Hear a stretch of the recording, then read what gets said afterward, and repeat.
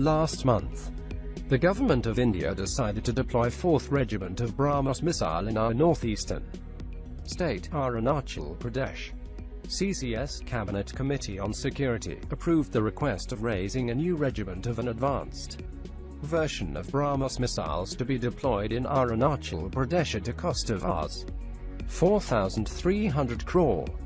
The regiment will be equipped with five autonomous missile launchers with command post. It would include 100 BrahMos missiles.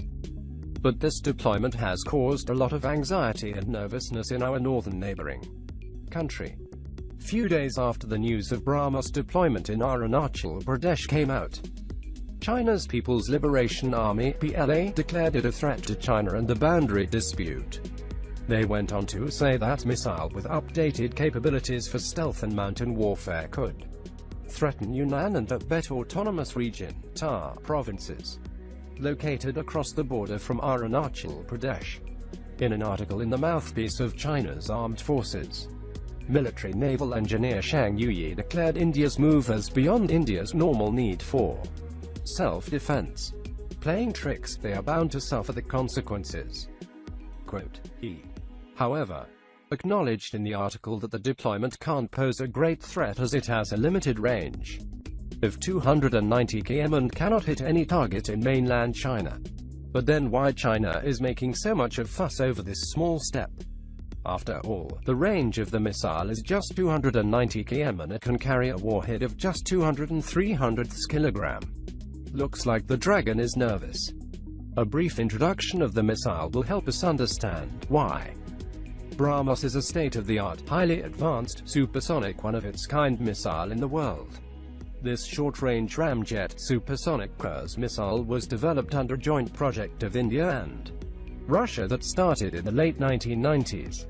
During the Cold War, instead of a conventional subsonic cruise missile, USSR developed an unconventional supersonic cruise missile that can evade American aircraft carriers' defensive setup and destroy it. It is important to note here that USSR never undertook the development of aircraft carriers. Seriously. Towards the end of Cold War, four Kiev-class carriers were built, one of which was Admiral Gorshkov, which is now in service with Indian Navy. To tackle American threat from aircraft carriers, USSR successfully developed supersonic anti-ship cruise missiles that could evade American carriers' missile defense systems and destroy it. The aim of BrahMos project was to develop an Indian version of P-800 Onyx anti-ship missile. Initially BrahMos was developed as anti-ship missile for Navy but later its success and abilities moved Indian armed forces to push BrahMos Aerospace to develop a land-based and air-launched version of the missile. Closing parenthesis. In a theoretical study, 16 ripple-fired BrahMos missiles can take out U.S. Navy's most advanced Arleigh Burke-class destroyer. Unlike other cruise missiles like Tomahawk of the USA and Babar of Pakistan that fly at a subsonic speed of 500-600 kmph, BrahMos can touch an astonishing maximum speed of Mach 2. 8 roughly 3,400 kmph. Though its range is limited just 290 km and it can carry a light warhead of just 200 to 300 kg. Its ability to maintain supersonic speeds while skimming at low altitude makes it very difficult to detect and intercept. During the last leg of its flight, just before hitting its target, BrahMos performs S maneuver to evade any anti-missile defense system. BrahMos kinetic energy gives it an edge in terms of stealth, hit probability and better target penetration characteristics, making it a deadly weapon. One can only imagine the impact a target would have when a 3-ton 28 feet long missile carrying a 300 kg semi-armor piercing warhead flying at speed of 3000 kmph hit it with pinpoint accuracy, SEP of 5 meters missile will tear the ship apart. BrahMos was first tested in June 2001 and later was deployed successfully on Rajput-class destroyers. In 2004, land attack version from mobile launchers was tested for Army and it completed the testing in 2009 to completed satisfaction of the end user. Since then, three regiments have been commissioned and deployed. The 4th Regiment will have the test version of a missile that was specially designed for mountain warfare. It was first tested in April 2014 in a steep dive come target discrimination mode that enables the missile to take out selected targets hidden behind a mountain range accurately. This is what is bothering the Dragon. China knows that India has no territorial designs. India is ensuring that its armed forces have the necessary equipment and infrastructure available to thwart any Chinese aggression. In any short swift war such deadly Accurate and stealth weapons will be of immense value to destroy Chinese command and control centers, firepower centers, radar and air defense sites etc. This would change the course of the conflict. Though China is acquiring one of the best missile defense systems S-400 from Russia but BrahMos, very small RCS radar cross-section, supersonic speed coupled with S-maneuver and low flying altitude makes it extremely difficult to track and intercept. The only possible anti-missile system that can possibly stop BrahMos single a ripple-fired effectively is Barak 8. An air-launched version of the BrahMos named BrahMos A is also being developed. BrahMos A will be 500 kg lighter than its Army and Naval versions.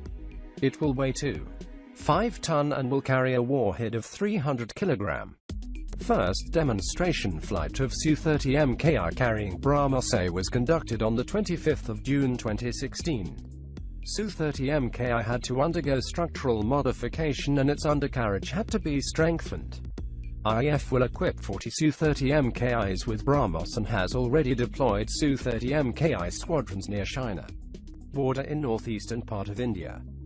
Equipping Su-30 MKI with BrahMos A will allow IAF to deliver the deadliest punch with a SEP of 5 meters deep inside Tibet and Chinese province Yunnan. All frontline warships of Indian Navy have already equipped with one or two 8 UVL M4 BrahMos Block Iron 2 missiles. Navy has already been doing long patrols and with the signing of Logistics Exchange Memorandum of Agreement LEMOA with the USA.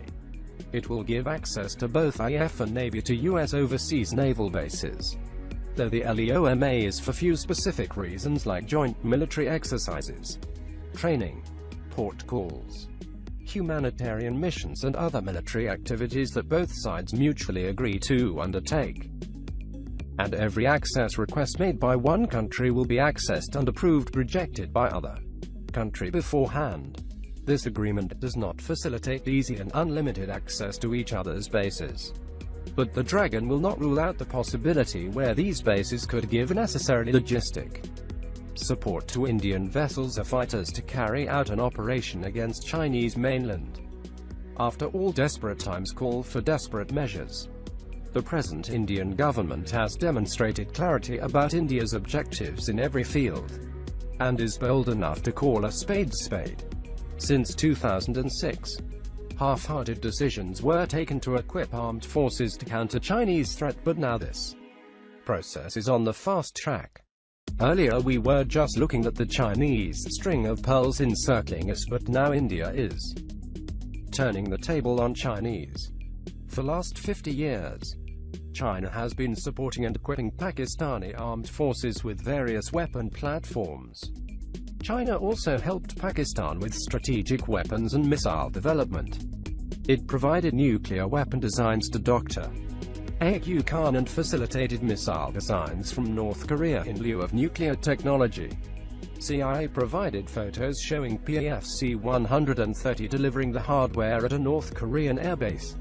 Thus helped Pakistan getting both the weapon and the delivery system. China has been closely working with other countries like Sri Lanka, Myanmar, Maldives etc. to gain port access there.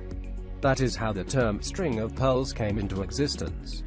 Now this string is getting reversed with India ready to sell BrahMos missile to Vietnam and Philippines, with whom China has a dispute over the South China Sea. The possible sale of BrahMos to these countries has already created ripples in China. As per China Topix 1, the People's Liberation Army Navy PLAN has no defense against India's BrahMos supersonic cruise missile, the fastest anti-ship missile in the world, and India is intent on selling these world-beating missiles to both Vietnam and the Philippines. Dot. The surface-to-air missiles on PLAN warships such as the FL-3000N will be almost useless against a volley of supersonic BrahMos hurtling towards a Chinese warship at Mach 3. The current generation of planned ship-borne SAMs can only effectively engage anti-ship missiles, traveling at half the speed of BrahMos. A future customer of both naval and air force version of the missile would be Japan and Taiwan. A hypersonic version of BrahMos flying at 600 kmph is already being developed and should be ready in 5 to 7 years.